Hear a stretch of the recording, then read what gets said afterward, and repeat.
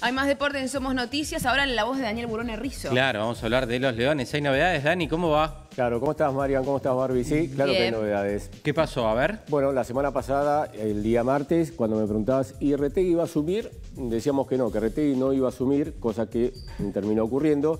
Y tiramos un nombre, era el de Germán Orozco, hombre que finalmente es el nuevo entrenador, flamante entrenador de los Leones. Bueno, tiramos un nombre, no fue que lo revolvió y acertó. Usted tenía buena información. Está bien, pero dijimos hasta ahí. tenemos un nombre para dar, tenemos un nombre.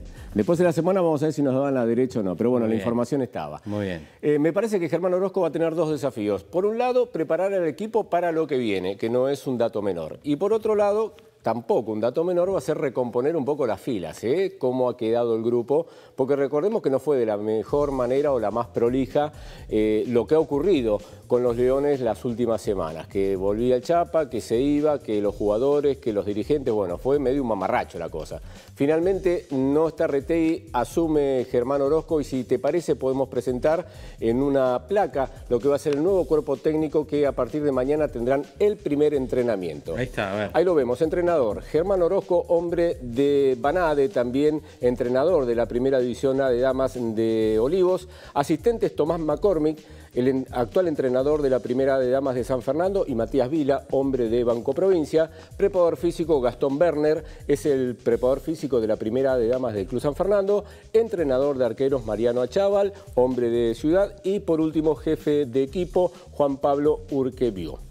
Bueno, este es el equipo, este es el nuevo cuerpo técnico que va a tener seguramente mañana, como decíamos, el primer contacto eh, con eh, los jugadores y jugadores también, algunos que van a volver, ¿eh? porque recordemos que en la última parte hay integrantes de la selección que no habían sido tenidos en cuenta. Brunet, uno de ellos, mm. recordemos el que hizo el último gol en la final olímpica, que se sienta sobre la tabla, eh, Caglioni tampoco. Bueno, me parece que van a mm, jugadores que pueden ser tenidos en cuenta. Si te parece, Mariano, podemos repasar un poco cuáles son las competencias internacionales que va a afrontar este nuevo cuerpo técnico. Ahí, las vemos. El Champion Trophy, que es ahora prácticamente del 23 de junio al 1 de julio, y posteriormente posteriormente, ya para fin de año, el Mundial en la India del 28 de noviembre al 16 de diciembre. ¿Y cómo llegan al Champion Trophy con todos estos cambios, Dani? Bueno, esa es la gran pregunta. Mm.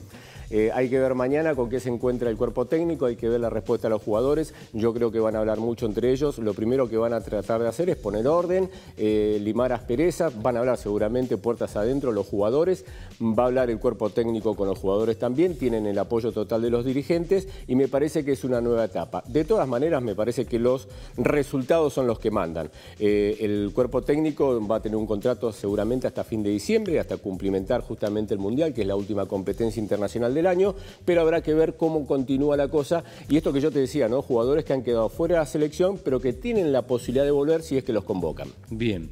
Bueno, ¿algo más? De... Nada más. Ok, no. Em, Sabes que fin de semana largo es ideal para remar, ¿no? Sí. Y tengo un comentario. Me dijeron que Tronco, nuestro director, con quien usted tiene un aprecio especial cuando hablamos de remo, se fue a navegar. ¿A dónde me dijeron que fue? ¿A dónde había ido? A la isla, a Martín García. Sí. Un clásico para Tronco. ¿Usted dice que esto es posible de acá Martín García, Tronco remando? Eh, no, eh, digamos, con una embarcación de motor sí, porque de hecho hay, una que va por... No le crees nada.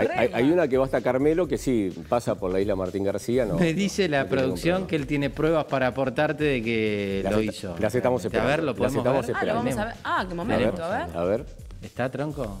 Bueno, esto, no, esto no es prueba alguna, ¿eh? Acá no, me dice nada tampoco.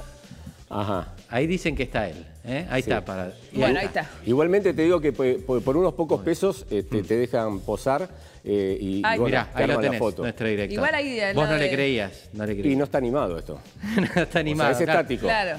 Se puede, son fotos. A ver, Mariano, te, pueden poner una Torre Eiffel atrás y, si pagas 20 pesos y acabas de estar en, en, París. París ayer a la noche. Claro, pero no está animado. Muy bien. Bueno. Bueno, este, ¿qué va a hacer? No, no te convence entonces que lo logró. No, no, no me convence. Mariano, atención. Linda excursión esa, ¿eh? ¿No? Sí, muy linda, muy linda excursión. Una información del momento que estabas manejando vos y que seguramente va a haber que que tenerla en cuenta es eh, cómo está salpicando el tema de los abusos a distintas áreas del deporte. En este caso, la Confederación Argentina de Gimnasia ya han separado a un profesor que va a ser juzgado por la justicia federal, ya que él cobraba un sueldo a nivel nacional como entrenador de la Confederación, investigación, no ha salido el nombre, lo están todavía, lo tienen este, justamente resguardado por el momento, pero está en plena investigación y esto tiene que ver como vos me mencionabas, y está ya acreditado, un exatleta de 40 años que se quebró y que, bueno, habrá, habría dicho en Sí. una cena de atletas y de exatletas que en la década del 90 fue abusado. Sí, gimnasta sería,